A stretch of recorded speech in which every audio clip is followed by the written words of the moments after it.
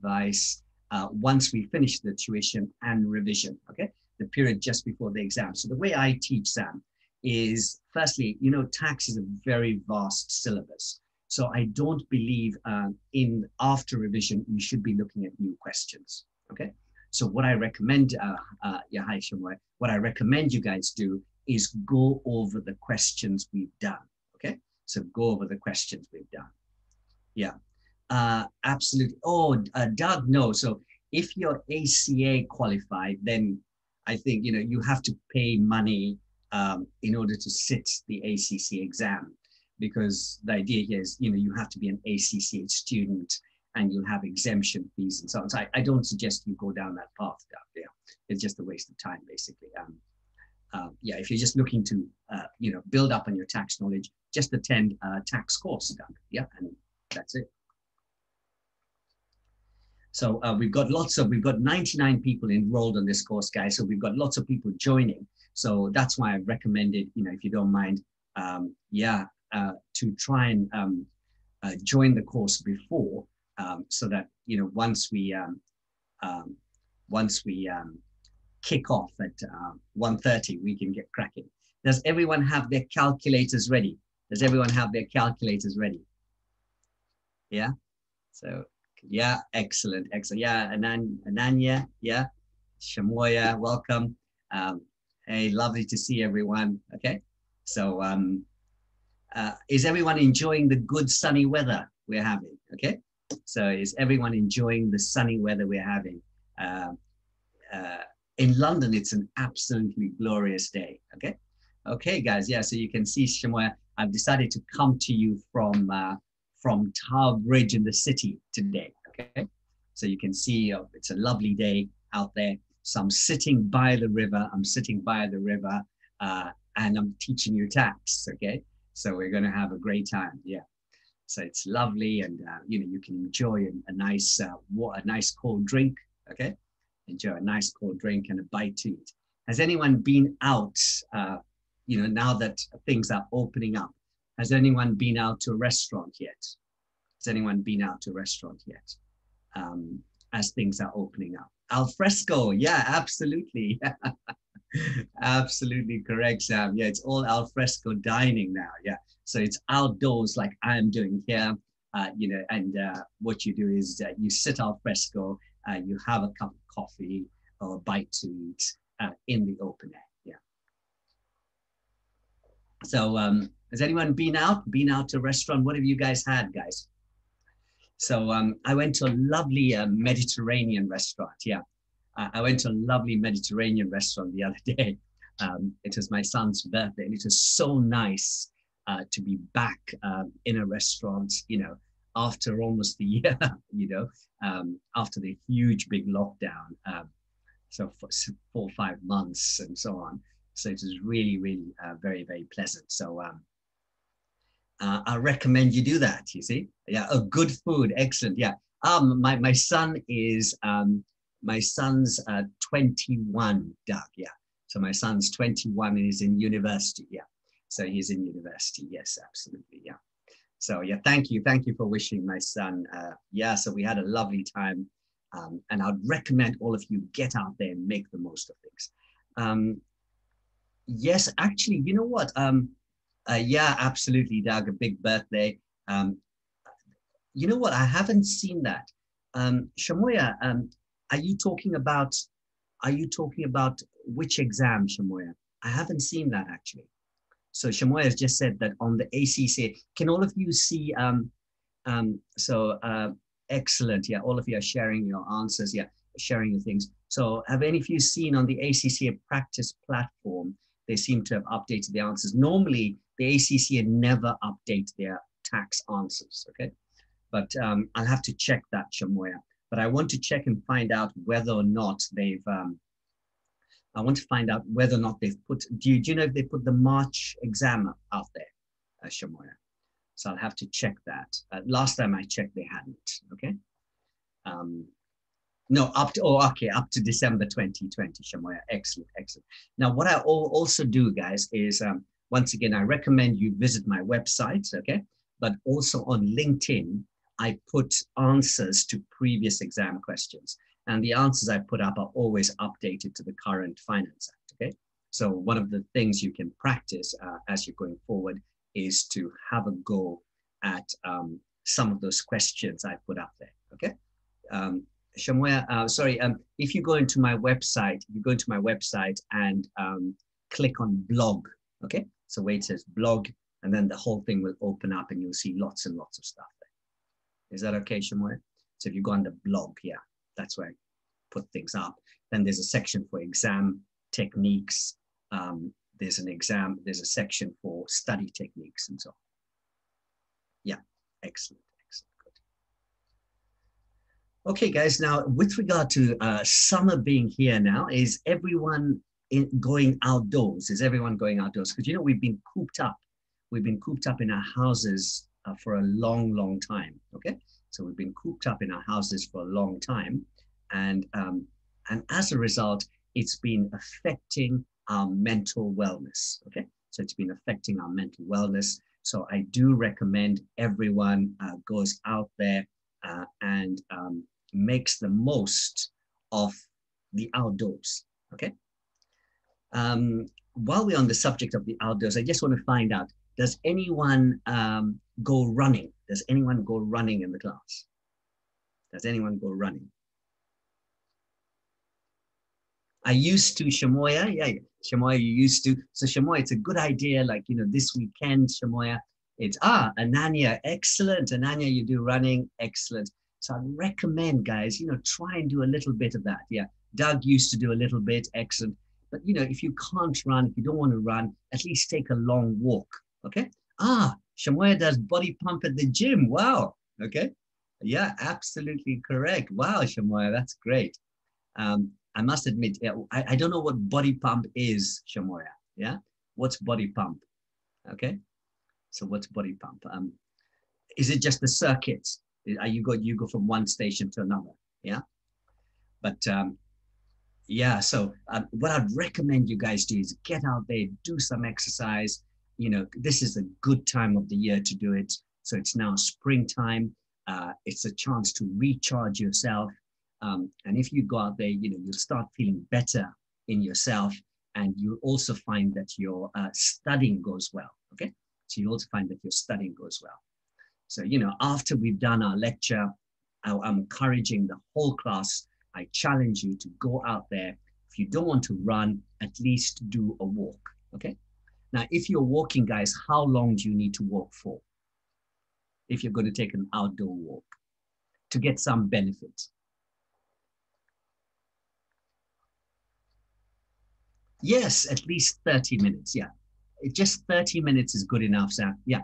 An hour is good, Sadaf, but you know, if you can't do an hour, if you're busy, you know, doing bits and pieces, you guys are busy, you've got your hands full, do half an hour. I would recommend you start off with half an hour. Okay.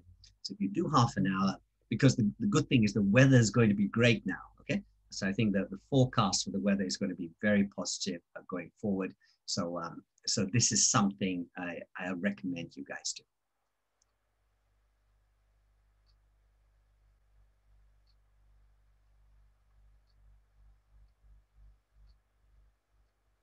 Okay, so any questions before we start, guys?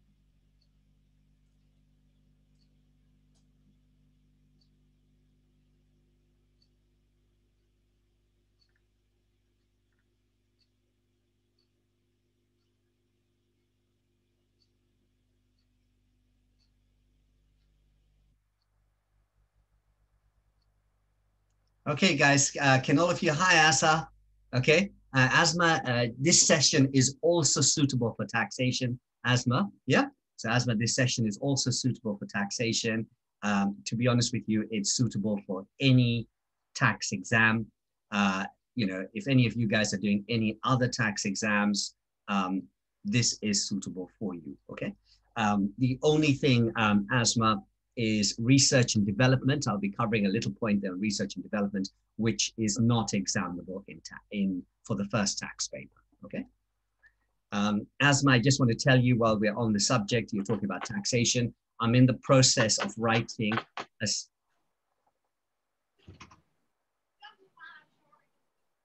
Sorry. So someone's unmute.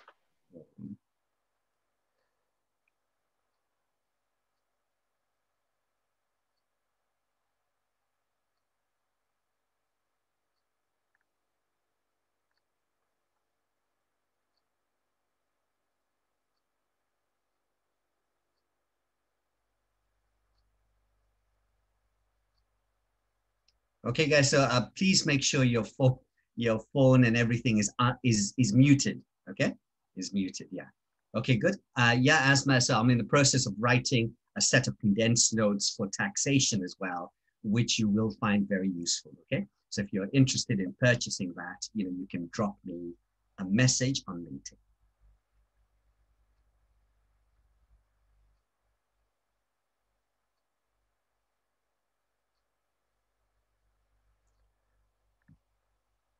Okay, guys. So um,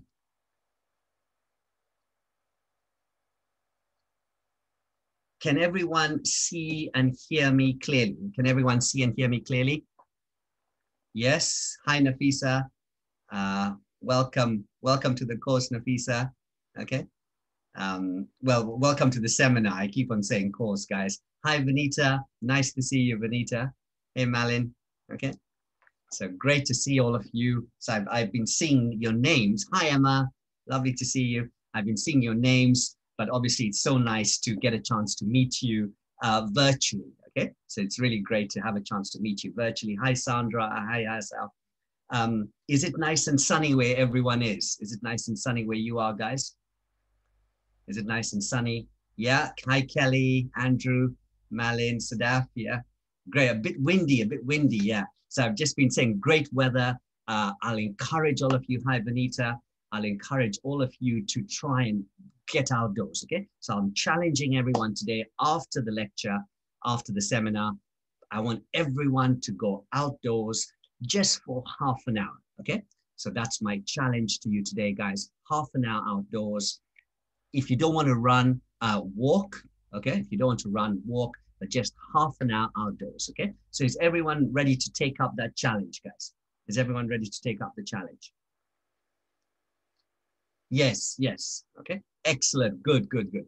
Now, as far as I'm concerned, as far as I'm, yeah, avoid passing by the pubs. That's fine, uh, Nafisa. You can pass by the pubs. You can't go inside. They can serve you al fresco. Okay. So yeah, it's fun. But what I want you guys to do is make the most of this because what you find is you'll feel so much better. You'll feel so much better. Now, as it's my challenge, guys, what I'm going to do, um, so what I am going to do, am I allowed to walk or do I have to run, guys? Am I allowed to walk or do I have to run? Run, run, run. I'm running, guys. I'm running, okay? Yeah. yeah, I'm actually running, okay? So I'm actually going to run, okay? Um, so uh, I'll be running, okay? So I'll be running. Okay, guys, does everyone have their calculator? Yeah, yeah, you can see Shamoya, okay? So you can see um, I'm getting better now, okay? So remember, guys, um, with uh, things like personal allowances, uh, qualifying charitable donations, and um, personal allowances, qualifying charitable donations, and double tax relief. If you don't use them, you lose them like your muscles, okay? So you can see now, guys, um, because lockdown is over, um, we're getting back in shape, okay? So I want all of you guys to get back in shape so that when we come to June, everyone is ready for the exam, okay? Okay, is everyone ready to start? Is everyone ready to start? Yeah, excellent, excellent, good. Yeah. Does everyone have their calculator with them? Does everyone have their calculator? Yes, good. Okay, okay, guys. So welcome to the course, guys. Um, I'm so pleased all of you can make it, okay? Um, so what I'll be doing today is I'll be taking you through um, through the Finance Act update, and I'm going to focus on the important areas that uh, are likely to come up in the exam. Okay, so I'm going to make it very interactive. Um, so um, what um, what I'll be asking you to do is respond, okay? I'll be asking you to respond. So I want to see all of you responding in the chat box, okay? So um, I hope all of you are uh, accustomed to using the chat box. So I'll be monitoring your responses in the chat box. So we're going to have a lot of fun today, okay? So um, it's coming up to uh, 129, guys. So just one more minute. Uh, we've got Leslie joining, okay? So Leslie joining. So I think all of you are here now. Um, and we're going to crack on. Okay. So we have a few uh, latecomers joining us. Okay. Okay. You've never done Zoom on an iPad. iPad. This is hard. Daniel, you should be using a laptop. Daniel. Okay. You guys, honestly, why are you using an iPad? Okay. Why are you using an iPad? Okay. Uh, never mind, guys. Never mind. You should be using a laptop so we can rock and roll. Okay. Ah, it's easier to sit on the sofa, Kelly. Lovely. Okay. Okay, good. Okay, so let's get cracking. It's 1.30 now, guys, so we're going to start uh, going, okay?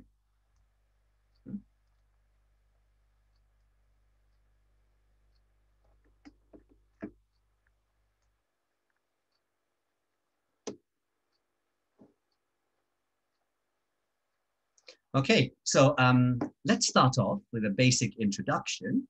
So Finance Act update, guys. Um, so Finance Act 20 will be examinable. I might have to close down the chat box, okay? So I'll close down the chat box from now. So Finance Act 20 will be examinable from June 21 up to March 22, okay? So that's why it's a good idea to learn it, guys, because even if, um, even if there are a few changes, so even if there are a few changes, remember, it will still be examinable up all the way till March 22. And the examiners like putting the new areas into the exam. So this is very important, okay? So with the stuff I'm covering with you today, is this stuff likely to come up in the exam, guys? Is it likely to come up in the exam? What do you think? Yes, absolutely. So just for you guys to know, uh, when we say yes, instead of typing yes, we type in Y, and for no, we type in N, okay? So uh, Y for yes or N for no.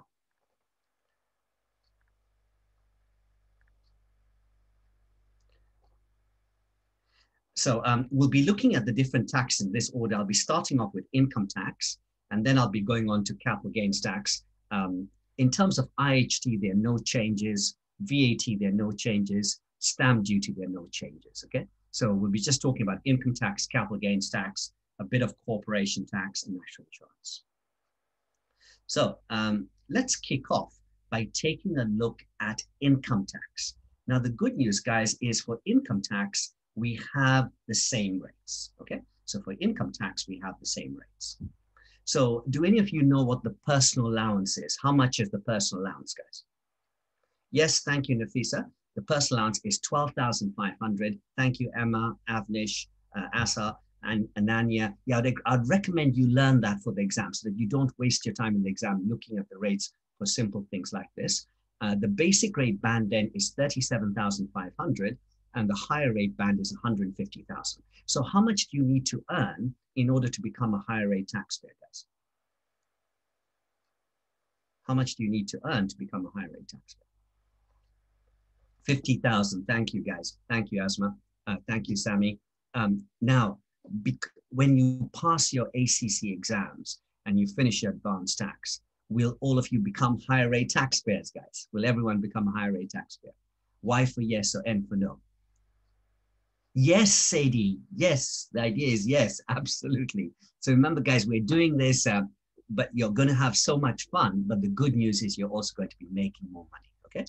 So I want you to remember. So uh, uh, we're good. Uh, you know, whenever you feel yourself getting discouraged and so on, remember this will help you in the future. Okay. When we tax income, we start by taxing. Uh, we ta- we start by taxing uh, non-savings income first then savings, um, and then what we do is we finally tax dividends. Okay, so you tax non-savings first, then savings, and finally dividends. Now the nil rate band for savings and dividends are exactly the same. For uh, savings, if you're a basic rate taxpayer, what is the nil rate band, guys? 1,000. Excellent, excellent. Thank you. Thanks, Nafisa. Thanks, Devin. Um, um, if you're a higher rate taxpayer, What is the nil rate band for savings? 500. Excellent. What about for some of you who are earning more than 150,000? Okay. People like Leslie. Leslie could be earning more than 150,000. Yes, for Leslie, um, Leslie, uh, Leslie earns more than 150,000. Leslie gets zero nil rate band for savings. Now for dividends, do any of you know what the nil rate band is for dividends? 2000, excellent, excellent. Yeah, thank you guys. Um, um, so I'll just admit Justina there. Um, so I've got a few people coming in now. Okay, apologies for that, guys. So um, that's why I told you to come in earlier. Okay, great. Now, um, for employees, for employees, when you uh, when you get your salary, what do you have to pay on the salary um, apart from income tax? Do any of you know? Thank you, national insurance. Yes. So when you receive a salary, you have to pay income tax and national insurance. So let's say the examiner tells you James is a basic rate taxpayer. So James is a basic rate taxpayer and gets a bonus of 10,000. How much after tax income will James have? Can all of you type in the answer? So the first thing I want you to tell me is what rate of income tax will James pay? He's a basic rate taxpayer, guys. Good, yes, excellent. He pays 20%. What rate of employee national insurance will James pay? Thank you, uh, Emma, Kevin, uh, thank you, 12%. So excellent. So many of you guys have worked it out already. So it's 20% income tax plus 12% national insurance. So a basic rate taxpayer pays 32% tax. So how much after tax bonus will James have? Can you type in your answer, please?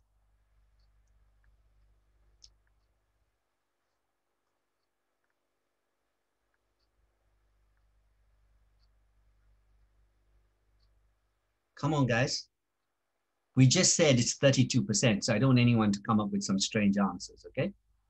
So good, excellent, good. So you have to think about this. So you pay, you will get 6,800 or 68% after tax. Excellent, yeah, good. 68, yeah. Malin, not 68,000, Malin, okay? James, James is only getting a bonus of, of 10,000, okay? good. Now, Mira, Mira is a higher rate taxpayer and gets a bonus of 10,000 pounds, okay? Now, because Mira is a higher rate taxpayer, what rate of income tax does Mira have to pay, guys? Excellent, 40%, thank you, guys. What rate of national insurance does Mira pay? 2%, excellent. So in the case of Mira, because she's a higher rate taxpayer, she pays 40% income tax and 2% national insurance. So can everyone work out how much after tax bonus Mira will have. Excellent, some very good answers coming through. Thank you, Amitra, Avnish, uh, Shamsha, uh, Asma. I'm sorry, guys, I may not be able to say all your names, okay?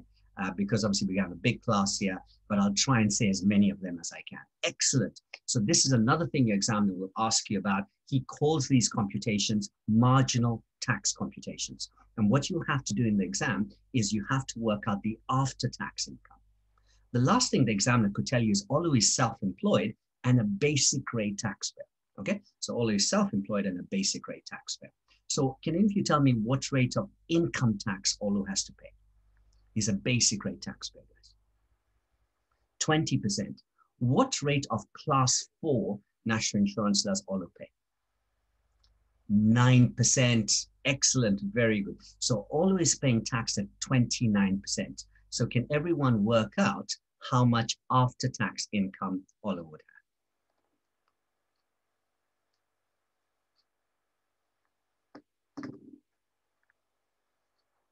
Excellent, some brilliant answers coming through, okay? So very good, so 7,100. So let's take a look at the solution together. So in the case of James, James has got to pay income tax at 20%, class one NIC at 12, so he's paying 32% tax. So his after-tax income is 6,800, okay? Uh, Mira is an employee. She's got to pay income tax at 40% and class one NIC at 2%. So uh, a total of 42%. So the after-tax income will be 5,800. And the last person we have is Olu, who's self-employed. He's got to pay income tax at 20% and class four national insurance at 9%. So paying a total of 29%. So the after-tax income is 7,100. Did all of you enjoy that? If you enjoyed that, type in Y for yes. If you did not enjoy that, type in um, type in N for no. Okay. Yes, I'm very happy to see everyone enjoyed that.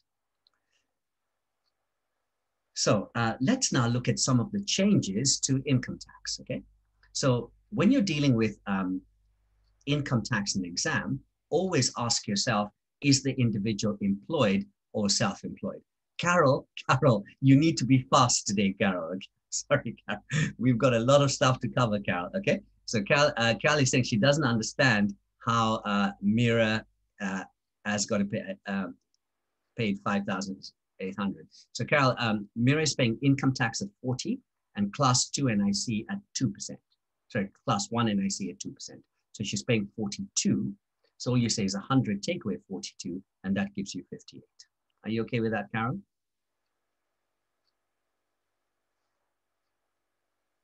Yeah.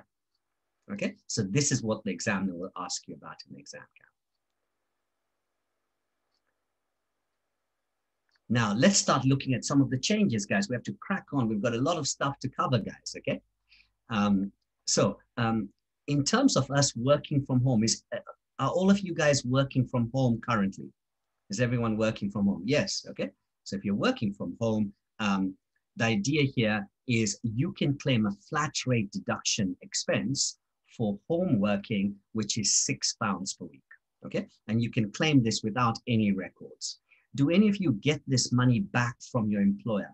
Does your employer give you the six pounds? No. So even if your employer does not give you the six pounds, you can claim the tax relief. Okay. So you can claim the tax relief. If anyone you know needs help with that, you can always drop me a message on LinkedIn. Okay. Now, currently we know that the government is trying to push electric and hybrid cars. So now we have a new type of car uh, electric hybrid car benefit based on the range of car which is given in the exam. Okay. Yeah, Shamoya, yeah, you, you can you can contact me, Shamoya, and I'll give you some pointers. I'll help you out with that. Okay, Shamoya? Um, Rena is a hybrid car.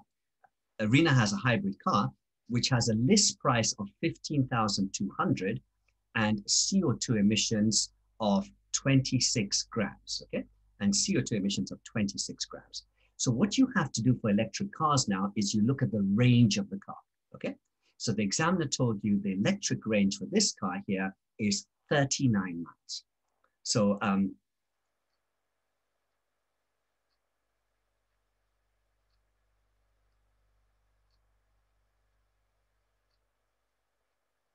Yes, yeah, absolutely. Yeah, Ayotunde, you're absolutely right. Yeah, you're looking at it on a monthly basis. Please make sure, guys, that you um, you mute your phones. Okay, Hassan, Hassan. We don't want to hear Hassan eating his crisps, guys. Okay, so please mute your stuff. Yeah, good. Okay, um, so um, with electric cars, the examiner will give you the range of the cars. So what he told you here is um, the tax rates given are 30 to 39 miles. For 30 to 39 miles, we have a percentage of 10%. Okay, so we have a percentage of 10%. So can all of you work out Rena's car benefit? So this is the new thing that's come into our exam. So uh, we're told her electric range is 39 miles. So all you have to do is look at the mileage here. So Sam, all you have to do now, Sam, is you take the list price and you multiply by that percentage based on the range of the car. Can you see that? Guys, what stuff are you working on? Very good. It should, uh, thank you, Anita. Thank you, Bella, uh, Boba, and Shamsha. Excellent. It's just 1520. Have all of you got that? Does everyone understand that? Thank you, Sadie. Yeah? 1520. Thank you. Yeah. Thanks, Malin. So that's the new thing that's come into our exam, whereby for electric cars, you look at the range of the car. Now, for other cars, the base level is now 55 grams per kilometer, and the percentage given is 14%. Okay, so the minimum percentage for car benefits is 14%. Now we're told Hamish has a diesel car with CO2 emissions of 112. Okay, so he's got a diesel car with CO2 emissions of 112, and we're told his car meets the RDE2 standard, and it has a list price of 22,000 pounds. So can everyone work out Hamish's car benefit and type your answer into the chat box?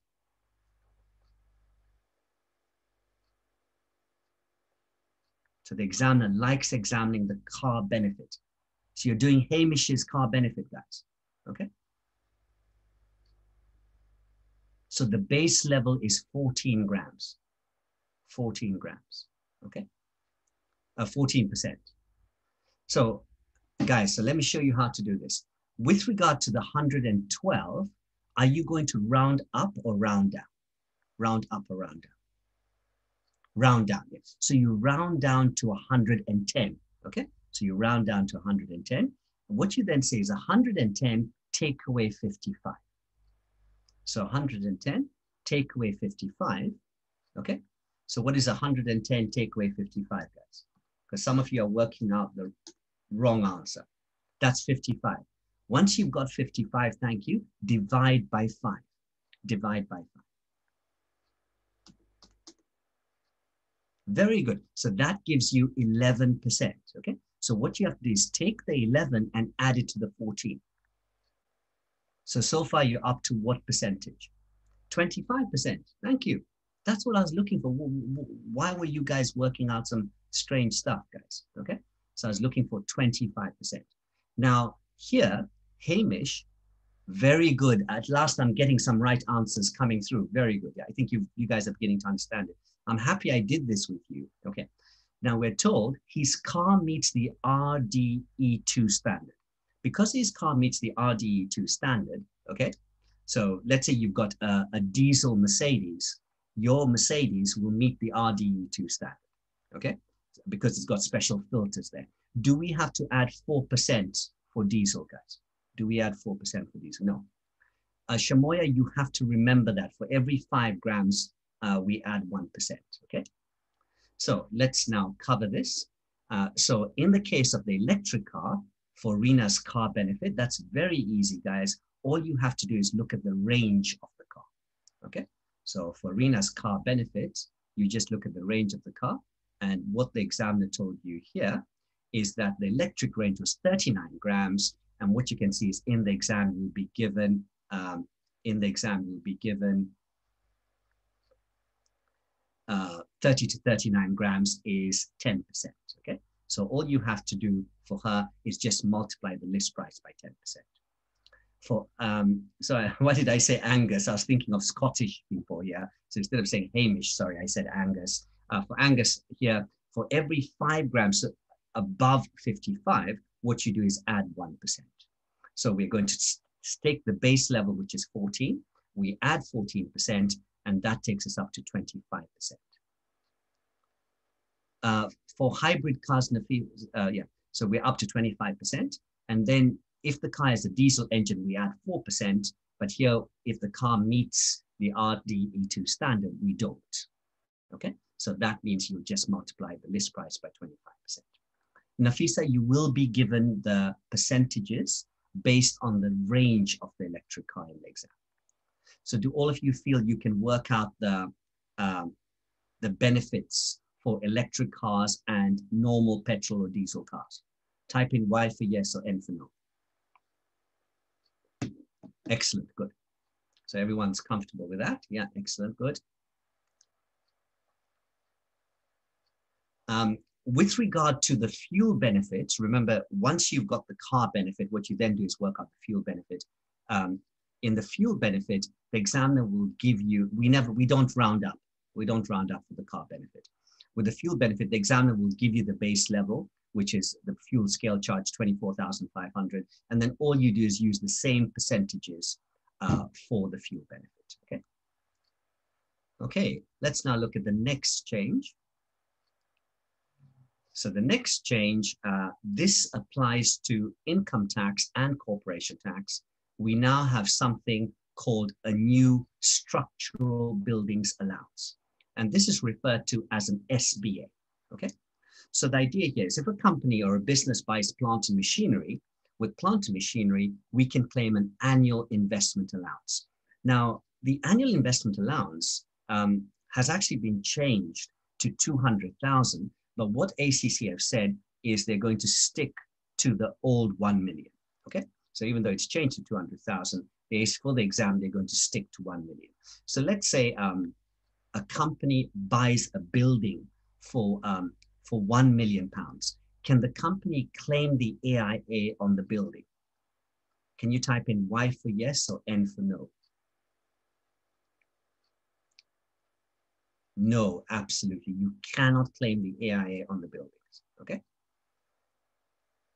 Ayotunde, uh, with regard to the hybrid cars, you'll be given the figures. Okay, so you just use the same percentages. Yeah.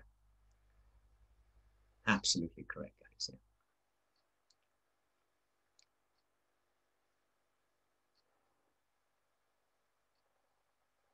So um, if you buy a building, you cannot claim the AIA. Okay. So you cannot claim the AIA.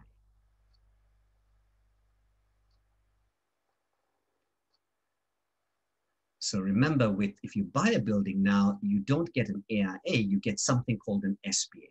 So we've got a new commercial building. So these are only available on new commercial buildings, okay? They must be newly constructed, guys. The examiner said he'll only give you brand new buildings. So we have a new commercial building getting an S, which gets an SB of 3% on original cost each year, the building is used in the trade. On disposal, there are no balancing adjustments, and the new owner can continue to claim the 3% on cost. Okay, so the new owner uh, can then claim the 3% on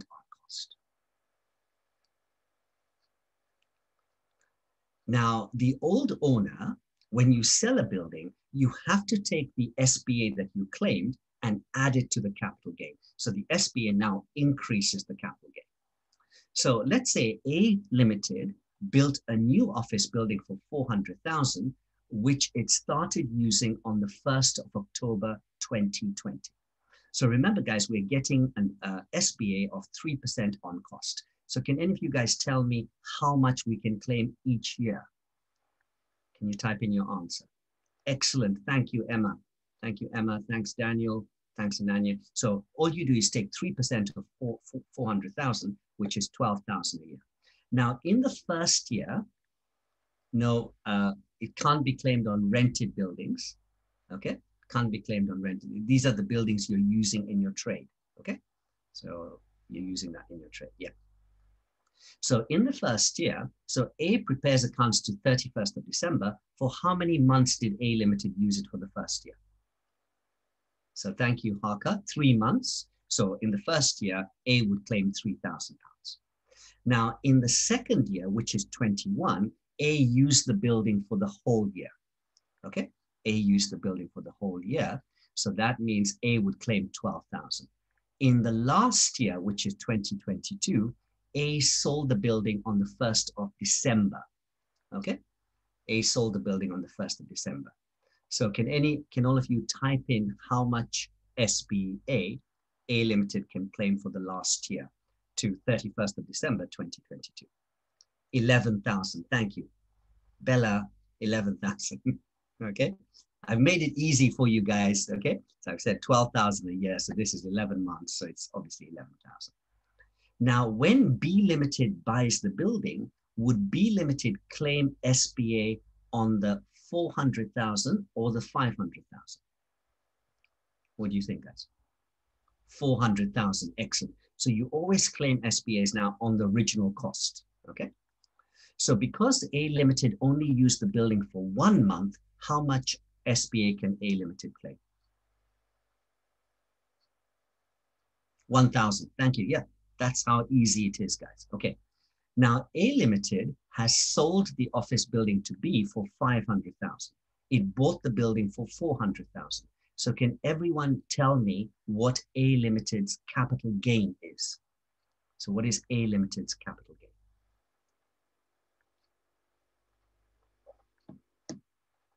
Please try and get it right, guys.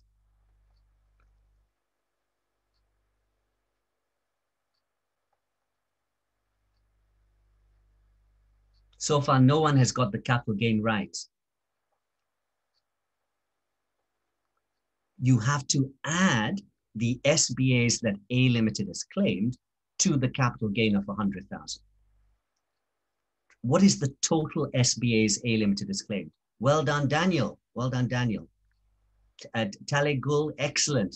Well done, Bella. So A Limited has claimed 26,000 in total, right? 26,000 in total. So you take the 26 and you add it to the 100,000 gain. So what is A Limited's capital gain? Ayotunde? Ananya, good. Excellent. Yeah. You're getting it right. Good. I want to see very good. Now all of you have understood that. So that's 126,000. Excellent. Okay.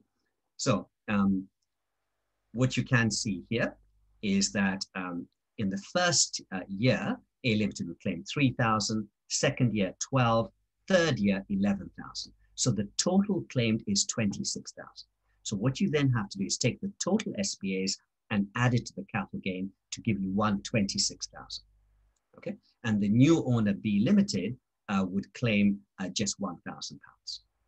Uh, absolutely correct. Yes. Well, because you got back to the what HMRC is trying to say here is the way to think about it, Nafisa.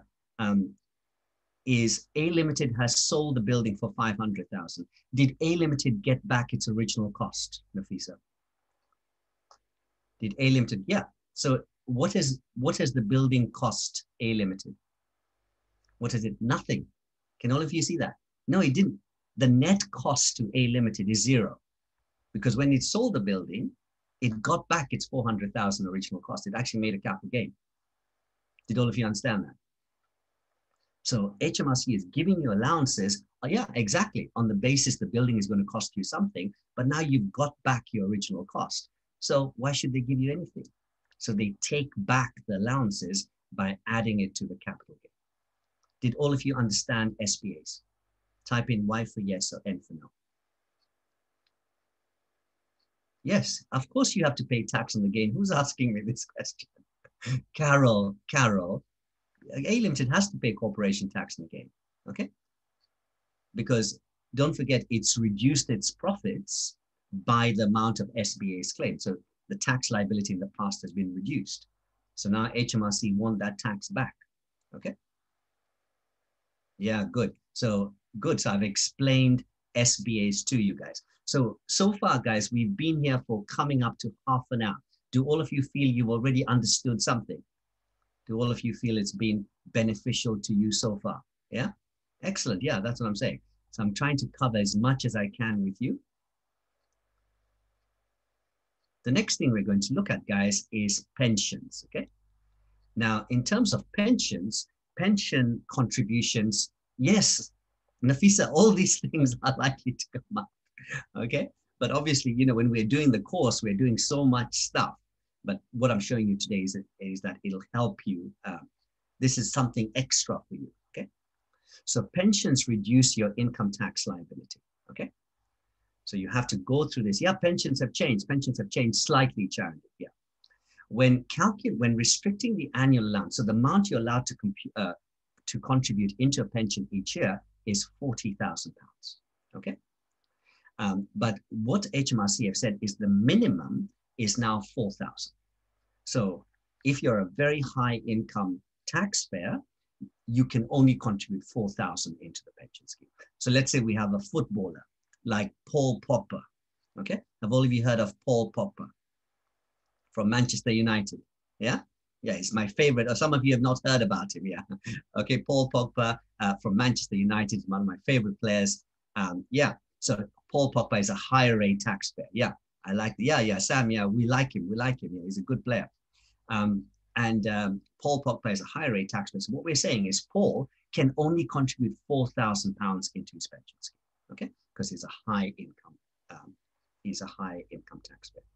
Oh yeah, Carol is saying you, you chose not to know him because he's a Manchester United player. Absolutely, never mind, Carol, never mind.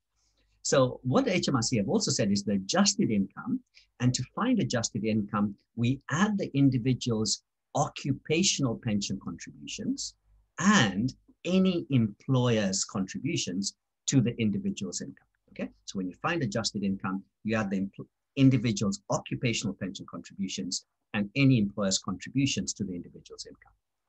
And the income, uh, Ananya, the 3,600 is the minimum for people who don't have any income. Okay, so if you don't have any income, you're still allowed to contribute three six. Does that make sense? Yeah. So um, so the limit for the adjusted income is now 240,000.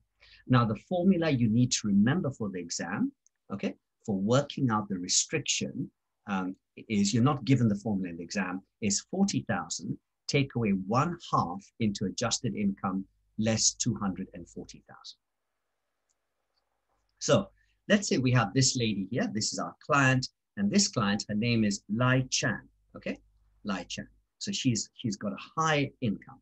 And she's Lai Chan has got employment income of 260,000. And she's also got occupational pen, uh, total occupational contributions of 6,000 pounds. So can any of you tell me what Lai Chan's adjusted income is? What is her adjusted income?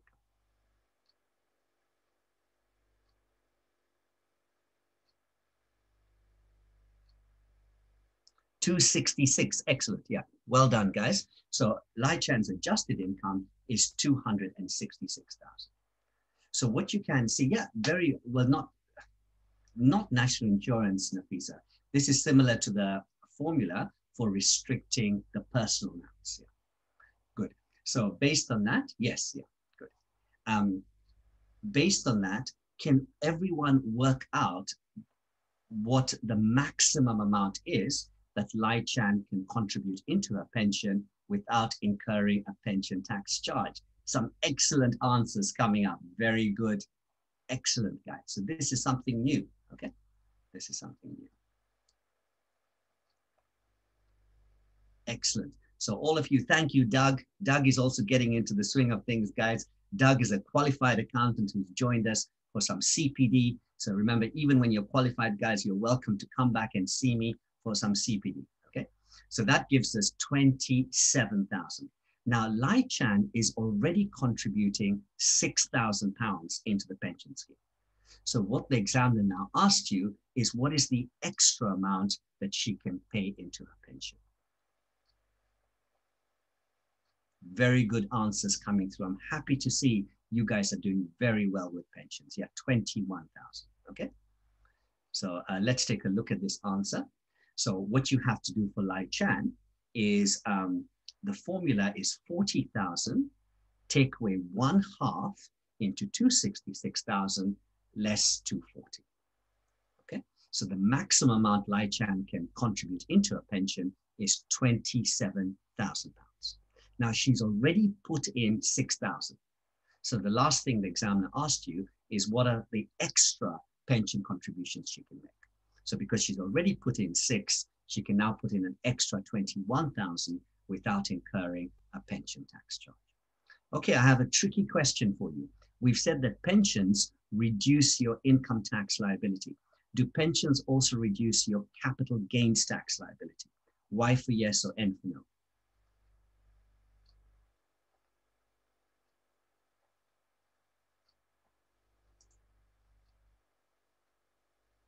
Most of you have got it wrong. Most of you have got it wrong.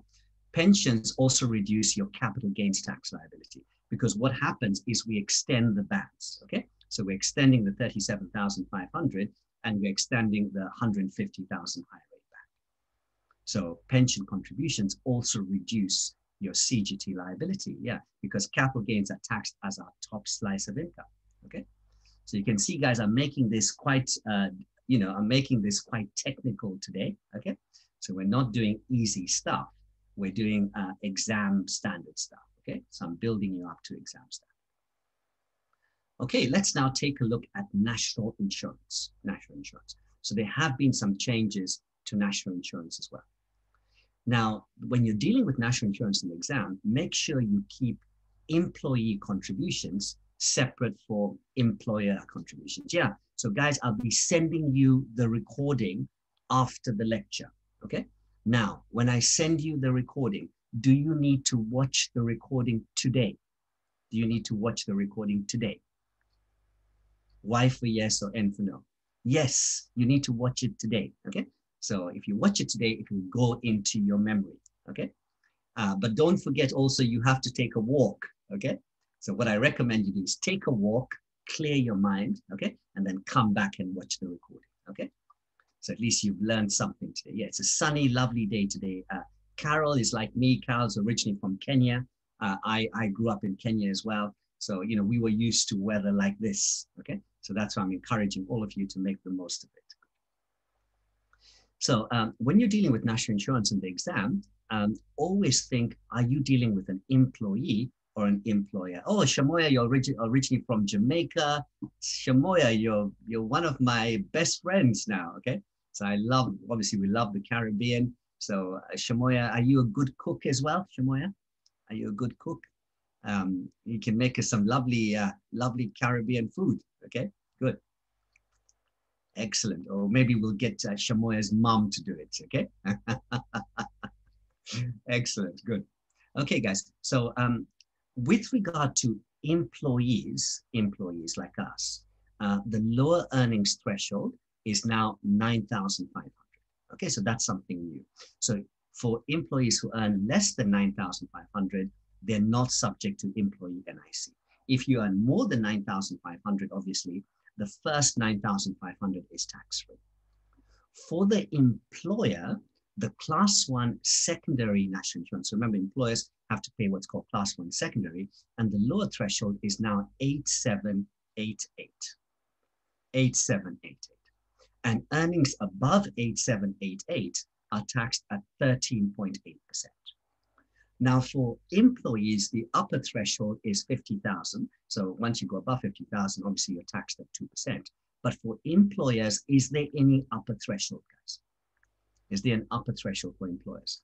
No, there's no upper threshold for employers. Um, so any earnings you pay your employees above 8788 are taxed at 13.8%. Now, the other change is the employment allowance is now £4,000. Okay, so it used to be three, they've increased it up to four, but it's not available if the employer's previous year's national insurance bill was £100,000 or more. So if the examiner tells you we have a large company like Kaplan, for example, we have a very large national insurance liability. So we don't even get the £4,000. Okay. So um, the national insurance, the employment allowance of 4,000 is only available if the employer's total NIC is less than 100,000. So let's say we've got this guy here, Ondego. Ondego is a self-employed timber merchant. He has two employees who both earn 55,000 pounds each. Okay. How much employer's NIC does Ondego pay? Can all of you work that out, please?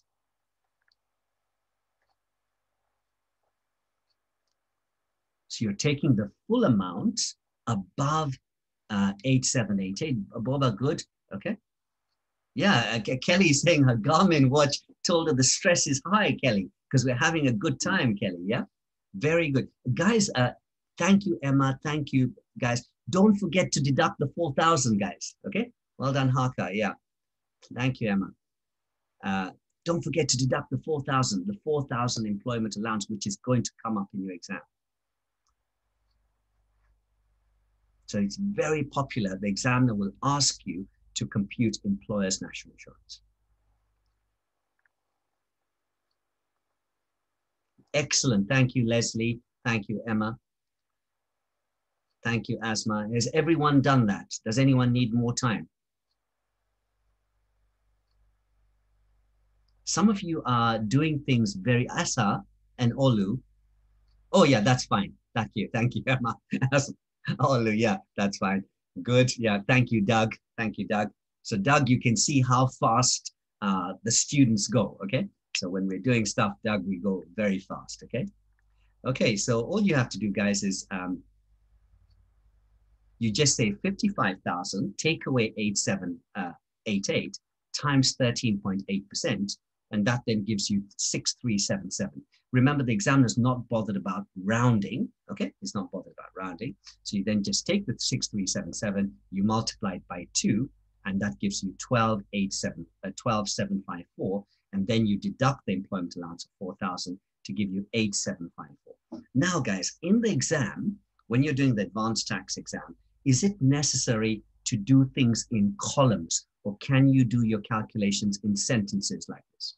Are you allowed to use sentences? Yes. So this is what I'm trying to show you, okay? This is a very quick way to do the calculation in the exam, okay? Okay, so we've now finished with uh, national insurance. I'm gonna, I'm gonna uh, minimize the chat box because what I'm now going to do is I'm now going to take you to capital gains, okay? So capital gains. So if you remember in the past, we used to have uh, a capital gains tax relief called entrepreneurs relief. And with regard to entrepreneurs relief, we're allowed to make business gains up to uh, 10 million over our lifetime, which were taxed at 10%. So entrepreneurs relief has now been abolished. And what HMRC have done is they've now introduced business asset disposal relief.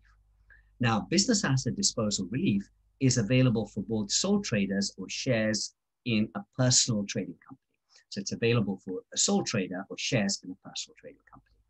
And um, with uh, with uh, business asset disposal relief, all we do is we call it bad relief, guys. Okay, so we call it bad relief because that's a quick way of us saying it. Okay, but in the exam you just write BADR.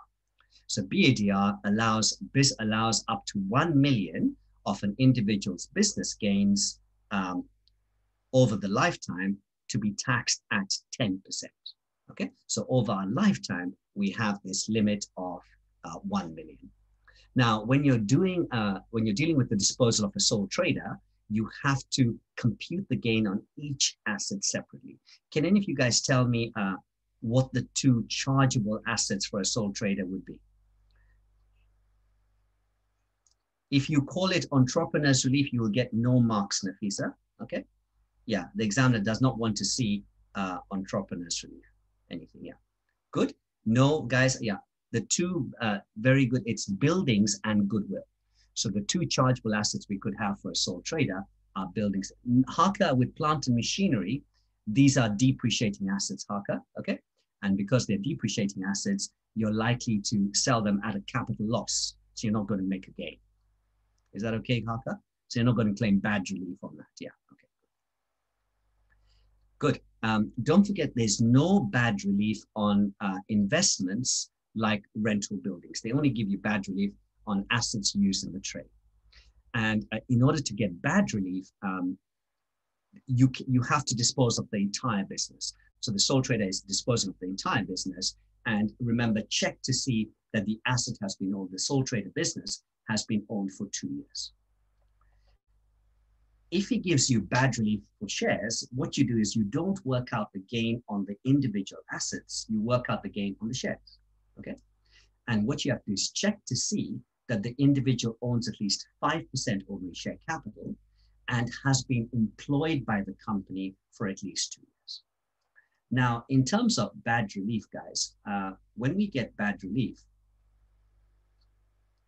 uh, when we get bad relief, do we, does the individual have to work for the company on a full-time basis? Y for yes or N for no? No, excellent, yeah, good, okay. Thank you guys. So as long as you, even if you work for the company on a part-time basis, that, uh, that's good enough. Are all of you finding these uh, memory joggers that I've done here to be useful? All of you finding these memory joggers to be useful? Yes, okay. So what I'm going to try and do is after the lecture, I'm going to try and send you, yeah, I'm going to try and send you these memory joggers, okay? So I'm going to use Dropbox because uh, Eventbrite doesn't allow us to send files. Yeah, th this is exactly it. This is from my book, uh, Advanced Tax Condensed, guys, okay? So these are uh, from my book, Advanced Tax Condensed. So you can see I write the memory joggers in different colors, okay? And with a memory jogger like that, is it easy to memorize it, guys? Is it easy to memorize it? Yeah, so you look at it and then you just copy it down, okay? So you look at it, you copy it down, and then it sticks in your mind. Okay, guys, let's now take a look at uh, exam questions. I'm going to reduce the chat box here. So we're looking at bad relief for a director or a shareholder. So what we're told here is we're told um, Jack sold his 20% holding in Tobb Limited, realizing a gain of 650. Jack has owned the shares for the last 12 years and has worked full time as a director of the company for that period. So what you can see is Jack owns at least 5%. He's been employed by the company and um, he has satisfied the conditions for two years. So what this means is the gain of 650 is eligible for bad relief. Jack also sold the office building used by Tobb Limited for the last 10 years, okay? Which he owned personally. So at the time he sold the 20% holding in Tobb Limited, he also sold the office building um, that Tobb was using uh, for the last 10 years um, because he owned the building personally. It didn't belong to the company. And he had a gain of 500,000. You're told Jack um, charged Tobb Limited full market rent. Okay. Now, guys, um, because Jack uh, charged uh, Limited uh, full market rent, is the building eligible for bad relief? Yes or no? I want to see everyone type in an answer. No. Excellent. Don't fall into that trap. Because he charged the company rent, full market rent, you cannot claim bad relief on the property. Okay? Yeah, he, he, well, he should have actually charged the, he should have let the company use it rent free, guys. Okay. So on that basis, guys, yeah, absolutely. Thank you, Carol. Yeah. On that basis, with the property, with the gain of 500,000 on the building, the gain of 500,000 on the building. So we said the shares would be uh, eligible for bad relief. The gain will be taxed at 10%. But with the gain on the building, can all of you type in the rate of tax you're going to use?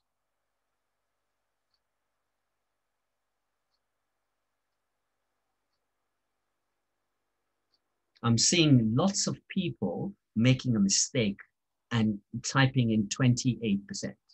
So this is a mistake people are making in the exam. It's not residential, guys. Okay? So I don't want anyone to make that mistake in the exam. Yeah, it should be 20%, Mala, very good. Mala, good. Uh, Doug, it's not 10%, okay? it's not 10%, it's 20%, okay? Good. So can everyone now work out the capital gains tax that Jack has got to pay, okay? And type in your answer. We're told Jack is a higher rate taxpayer, so he's already used up his basic rate band, and his annual exemption is 12,300. He's still got his annual exemption available.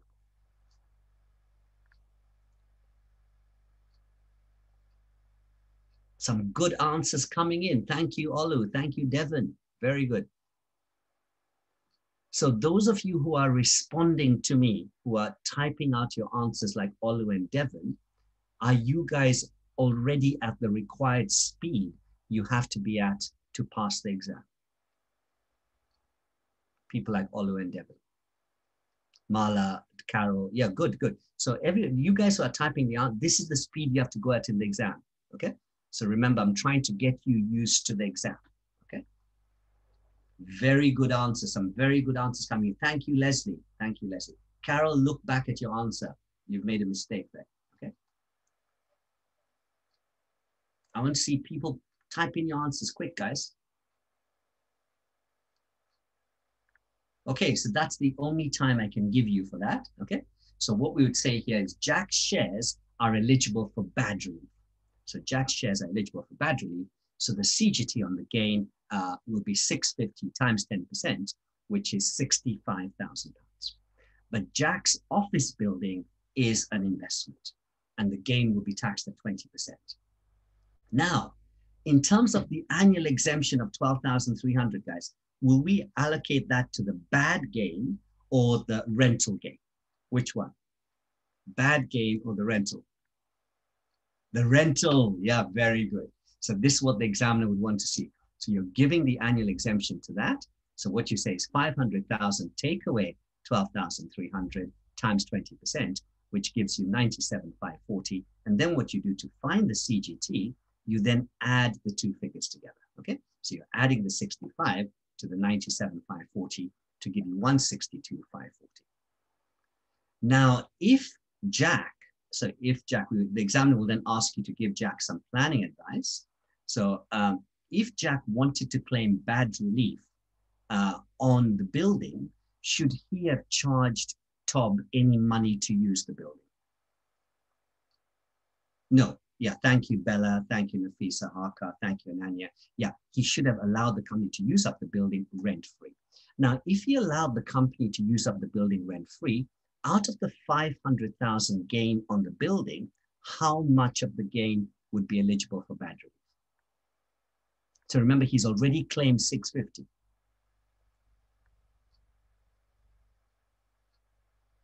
Excellent, thank you. This is what your examiner is going to do, okay? So this is what your examiner is going to do. Um, he's now going to examine the limit of 1 million. Yeah, excellent, yeah, very good. So you guys are able to understand that. So you would be able to claim bad relief on 350,000 of that gain up to the 1 million lifetime allowance. Do all of you feel you've understood bad relief? Govinda. You've understood it, type in Y for yes. Yeah, good. Excellent. Thank you, Kevin. Thanks, Sadie. Yeah, good. Amitha, hi. Nice to see you. Some of you guys, I don't know your names, so welcome to the course. Lovely to see you. Okay. The other change, guys, is on capital gains tax, principal private residence. Okay. With regard to principal private residence, by the way, I, am sure all of you know that normally we pay our CGT uh, on uh, the 31st of January following the tax year. Okay.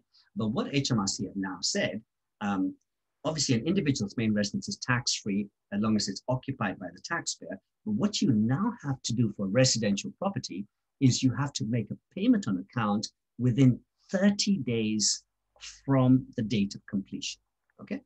So you have to pay the CGT on residential property much sooner.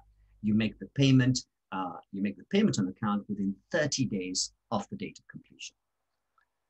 Now, uh, if you're absent from the property, this will create a capital gain. In the past, the, the last 18 months of ownership was always treated as deemed occupation. What HMRC have now done is they've reduced the 18 months down to just nine months. Okay, so you can see, guys, they're trying to tax residential property in a big way. Okay, so they're trying to tax residential property in a big way. Sorry.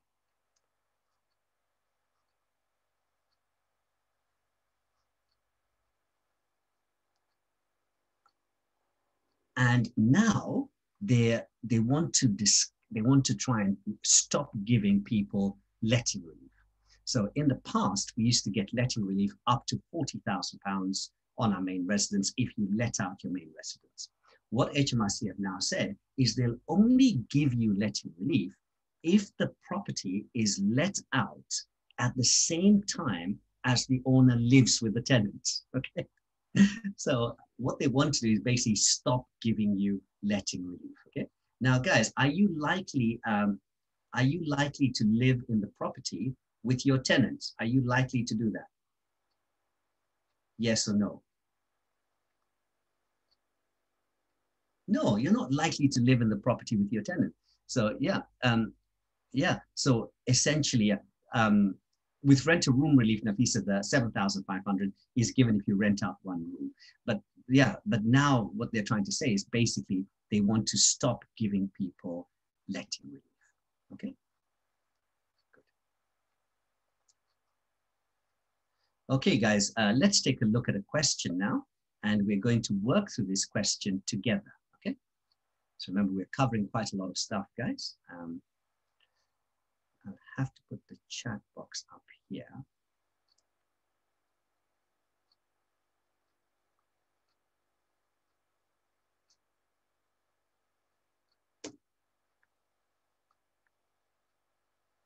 Okay, so what we're told there is Emma sold her house, uh, sorry, not Emma, Arena. Irina sold her house in London, making a capital gain of 800,000 on the 1st of January 20. So we're going to do this together, guys, okay? Because this is quite detailed. She bought the house on the 1st of January 96 and lived in it for two years before spending a year traveling. Now, after traveling, she returned to the house for six months. So can any of you tell me what deemed occupation we can claim for the period Emma, uh, Irina went traveling?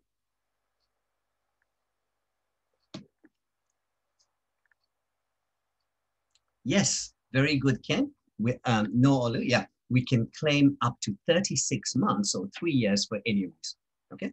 And we can claim that because uh, because she she lived in the house before and after the period of absence. Very good, guys. Um, next, she then uh, found a job in Scotland where she worked for five years. Now, if you work elsewhere in the UK, you're allowed to claim deemed occupation for up to how many months? Very good, Nafisa, yeah.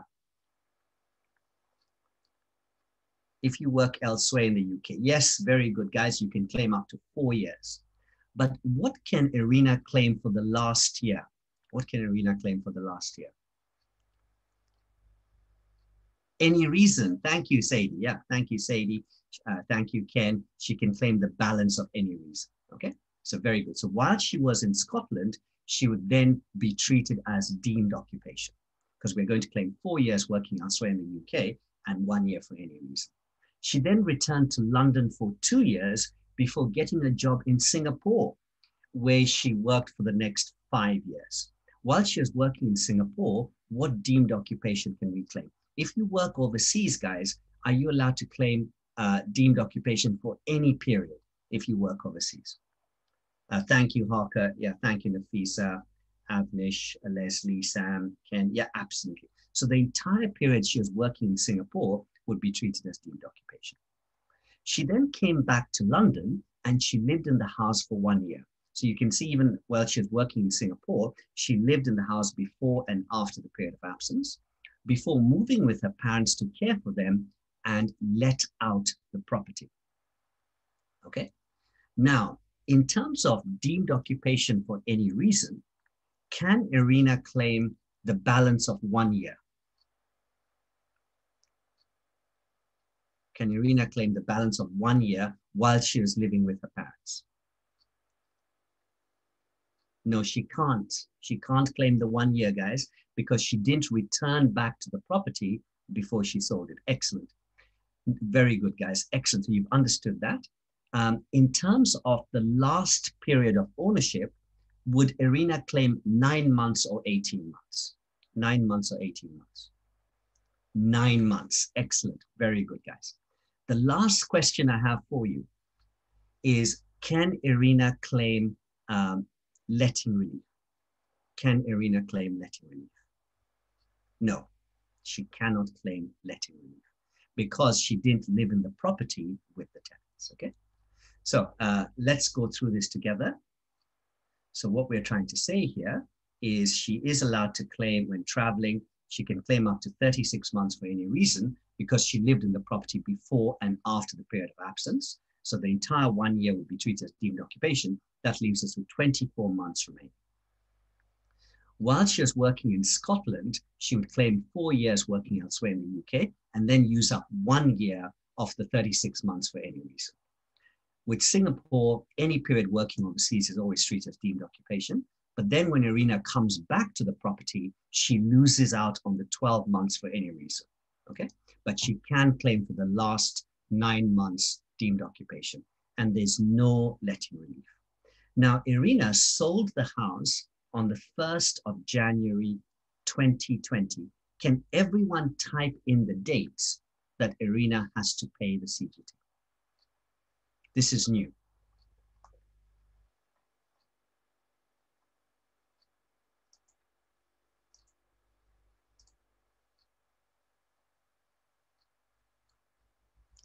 So what I want to know, is it 31st of January? I don't, Carl, why are you going to Feb? Okay, it's, it's 30 days from the date of completion, okay? So is it 31st of January 20 or is it 31st of January 21? It's 31st of January 20. Excellent. Well done, guys. So now, does HMRC want their tax very quickly, guys? Do HMRC want the tax very quickly? Yes. Okay. So that's the new bit that's coming to your exam. Okay, guys, so uh, I've now got a few small areas to cover with you. Uh, I'm going to just close down the chat box very quickly, um, and I'm going to cover these small changes. So when dealing with rental income for individuals, we do not deduct um, any interest on a loan to purchase a property. So, you know, when we take mortgages to buy rental properties, we call these mortgages buy to let mortgages. So if you take a buy to let mortgage, you cannot deduct the interest on the buy to let mortgage from the rental income. What you do instead is you take the rent, the interest paid, you multiply it by 20%, and you deduct it as a tax reducer, just like your double tax relief. Okay? So just remember now you claim this 20% income tax reducer from your tax liability, just like double tax relief, but you don't deduct it from the rental income. For inheritance tax purposes, um, if you leave a main residence to a direct descendant, so you leave a main residence to a direct descendant in the death estate, the residence nil rate band is now 175,000. And this is the maximum it goes up to. Um, so within a, between a couple, basically the conservatives wanted a, a couple to have 350,000 in total, okay? Um, so you now get a residence nil rate band of 350,000 for a couple. Uh, Nafisa, absolutely, yeah. Nafisa, the whole idea behind this, of course, yeah, it's it's 20% for everyone, okay? Basic rate taxpayers, higher rate taxpayers, and additional rate taxpayers. Now for VAT, you ignore Brexit for now, okay? So remember, guys, a, uh, the ACCA, uh, the ICAEW, and uh, all of them, the CTA, will not examine Brexit in uh, 2021. So Brexit will come in in 2022 after the March 2022 exam. Now, uh, those of you who are doing the first tax paper, who's the person doing the first tax paper? So you're not doing advanced tax, okay? So if you're not, yeah, Sadie, Sadie, yeah, Sadie, Asma, you don't have to worry about the next point I'm making. So it's only one point that relates to advanced tax, okay? So Tanaka and so on. Yeah, so you guys don't worry. This is not, R&D is not examinable for the first tax paper. Uh, R&D is, no, no, I don't, I don't mean the first one on the day, sorry, yeah. Ah, yeah, Sadie, yeah, I know, that, that's what I was surprised about when you said you, now I'm talking about uh, not uh, people are not doing advanced tax, there's no R&D. Charandeep, the 13% has now changed to 14%, okay? So uh, for corporation tax, the SME, uh, yeah, absolutely did come up in the last exam, Lisa. Uh, the SME above the line tax credit is 14% for large companies. Now, with regard to the um, um, with regard to the uh, with regard to the R&D tax credit, is that treated as part of our taxable total profits? Is it part of our TTP?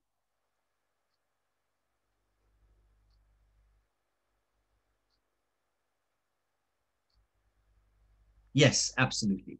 Okay, so it is part of our TTP.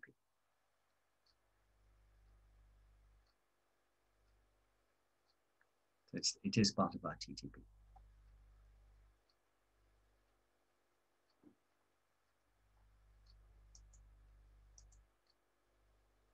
Okay, guys. Uh, sorry, actually, you know what? You guys are right, actually. You're, you're right. You're right, actually. Okay. So I think, sorry about that. Charandeep, you're right. I, I, I don't know why I said 14% actually. Thank you for pointing that out, Charandeep. Yeah. Um,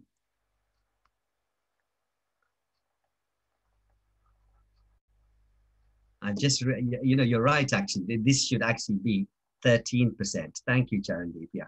I, why did I go to 14? Sorry about that. Yeah. So 13%. Okay, good. So yeah, thank you, Charandeep. Okay. Yeah. Thank you for that. So why did I go to 14? Yeah. no, no, no. It's my mistake, Kelly. It's my mistake. Yeah. Um, I, I was thinking of something else. Yeah. Okay. Um, so X Limited has got profits of 1.1 million and no R&D has been accounted for. Okay. So X Limited spends 100,000 on qualifying R&D. What is X Limited's corporation tax payable? Okay, so can all of you work it out? And I've got to work it out myself as well because I used 14%, okay?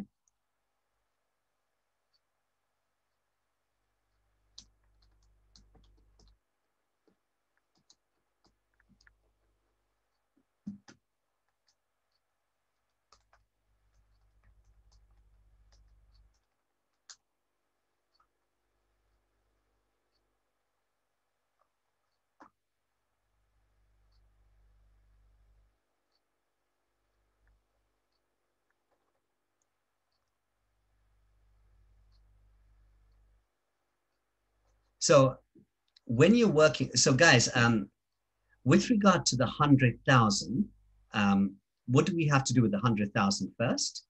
With the 100,000, you have to deduct it from the 1.1 million, okay?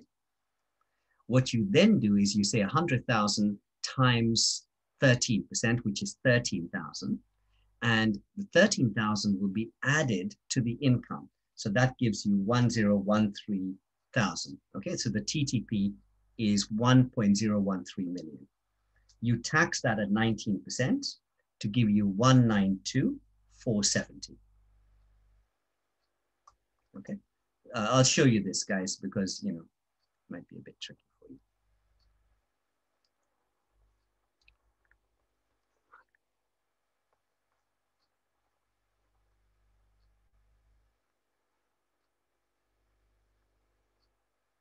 So it's my mistake, guys. Sorry about that. I used I used 14%. Okay.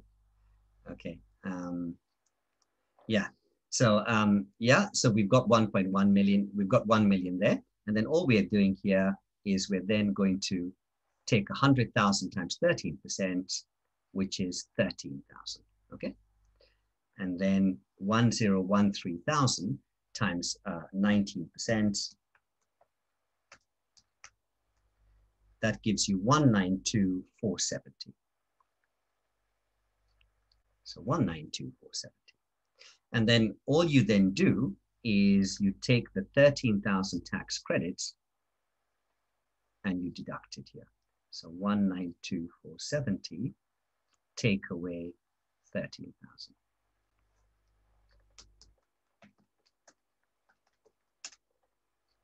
And that gives you what?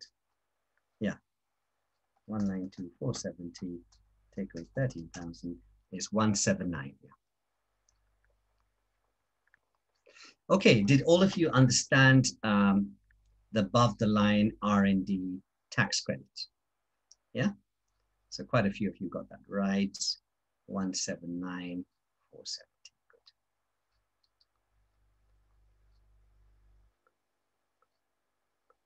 So all you have to do, guys, is, sorry,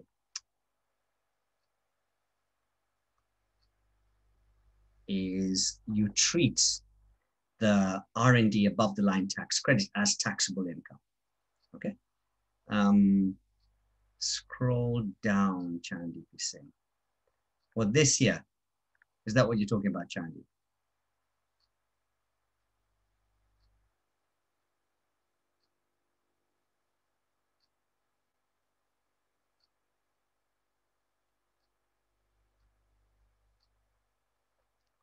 Okay, hopefully all of you can see it now, yeah? So hopefully everyone can see it now. Oh, it's cut off at the bottom, you can't see. Chandy, that's your own screen. Okay, wait, wait, wait.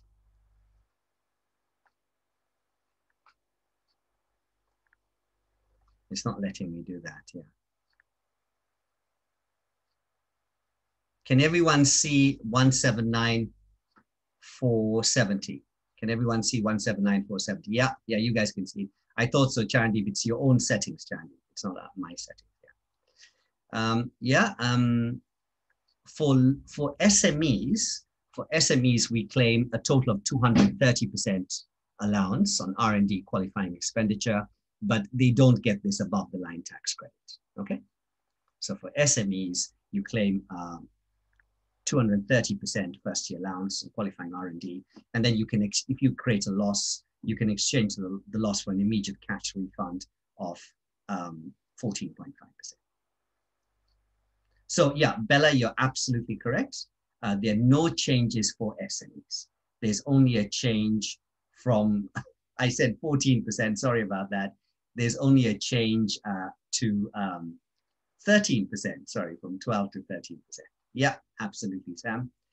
Okay, guys, uh, in terms of essential tax knowledge, okay, um, I know many of you guys have this anyway, uh, so I've prepared a set of advanced tax condensed notes, uh, which have everything that you need, all the advanced tax syllabus in 149 A4 pages based on accelerated learning techniques and the cost is 99.99 inclusive of postage and packing okay?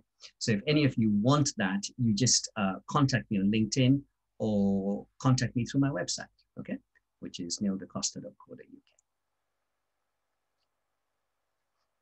okay so resources and uh, final questions. Very good yahaka. Thank you for that. Um, so um, there's lots of stuff on um, uh, that I've prepared for you uh, at neildacosta.co.uk. Um, you know, I write lots of articles, uh, you know, attend my seminars, uh, connect with me on LinkedIn, Facebook, and um, lastly, we're going to look at any questions. But what I like to do, guys, is we're going to do a little quiz. Is everyone ready for a little quiz, guys? Is everyone ready for a quiz? Yes, yes. Now, I haven't made the quiz too difficult, okay? Because I know some of you will be a bit tired today. Uh, so can all of you see the quiz coming up on your screen? Can everyone see the quiz coming up on your screen? Yes, good. Okay, so I want everyone to answer the first question. So I want everyone to answer the first question. So the first question is, what is the new SBA on commercial buildings, okay? So this is available on commercial buildings, offices, warehouses, that kind of stuff. No, no, uh, type in the answer, type in the answer, guys, okay? You're answering it, you're answering the, the, the, the test. Don't type the answer in the chat box.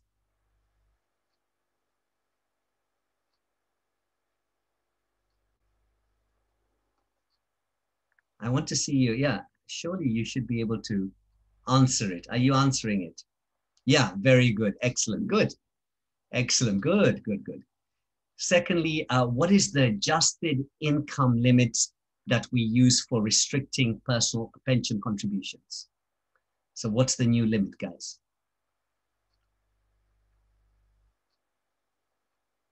Yeah, good. I want to say only four people are answering it, guys. Type in your answers. You're doing something online. Yeah. 240,000. Only four, five people, six. Yeah, you should be typing in your answers quickly. Do any of you remember what the um, what's the minimum pension contributions? Sorry, not yeah, the minimum. Yeah, four thousand. Excellent. Good, good, good. Excellent. We're going on to the third question. What is the national insurance employment allowance? 4,000. You can see it's the same as the minimum pension contributions, guys, okay? So it's easy to remember that, good. Haka, why are you saying nine? So the employment allowance is the, oh, the next question, thank you, okay? Thank you. Um, what is the new name of entrepreneurs relief? So is it horrible relief, guys? Yeah, no, it's, yeah, very good. Some of you said good. who said who said entrepreneurs who said the new name is it's uh, is good relief okay? So it's actually bad relief guys okay? So the new name of entrepreneurs relief is bad relief okay? Yeah. Okay uh question five question five. What is the deemed occupation that's available on any main residence for ppr 9 18 36 or 48 it's any main residence, guys. So don't go for the 36 months, Anita. Okay? Some of you are saying 36 months. It's not. It's the last nine months. You only get the 36 months if you live in the property before and after the period of absence. I know if you see that. So the correct answer is nine months.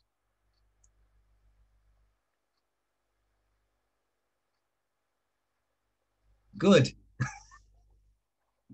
this is where I made a mistake, guys. What's the new above the line R&D tax credit for large companies? 13%. Excellent. 13%. Good. Okay. Thank you for that. Uh, how did you find today's webinar?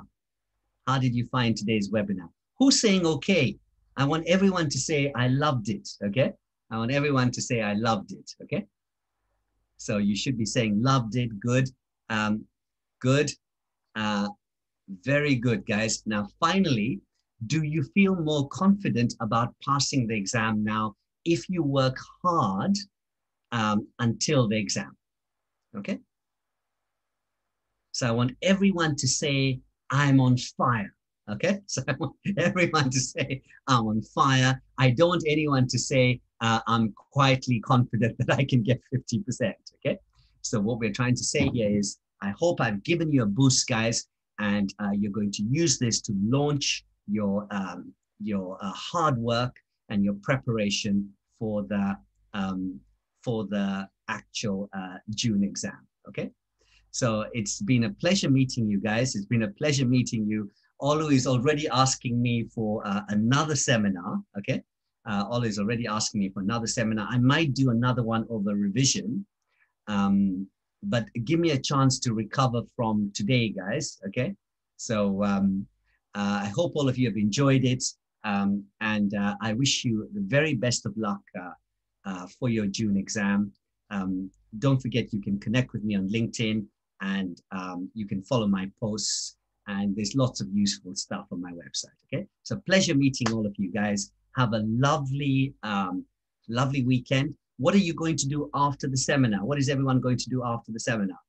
What are you going to do, guys? You're going to take a walk. Good. Uh, my pleasure, guys. Lovely meeting all of you. Um, make make the most of the sunny weather. It'll make you. I've covered a lot of stuff with you. Okay, so I've covered a lot of stuff uh, with you. I've compressed a lot of material together, so you do need time uh, to digest it. So I recommend you have a bit of a break, and then what I'll do is I'll send you the recording, and I'll also try and attach the notes to that. So pleasure meeting every one of you and uh, good luck. Uh, good luck in the exam, guys, okay? So yes, so all the results are out there. Good. My pleasure. Lovely seeing you guys.